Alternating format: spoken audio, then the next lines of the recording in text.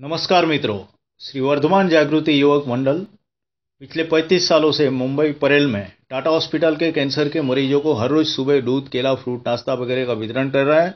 साथ में उनको मेडिकल और हॉस्पिटल की सहायता दे रहा है। वो संस्था दाता परिवार की सहायता से चल रही है।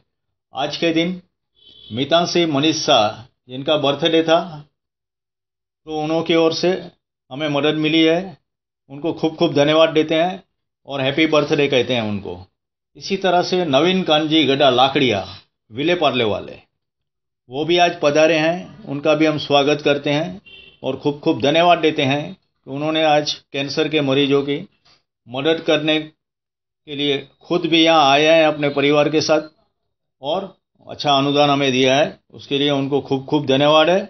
हमारा सभी से आमन निमंत्रण है कि आप आइए, हमारी संस्था के साथ जुड़ जाइए। जय हिंद वंदे मातरम नमस्कार।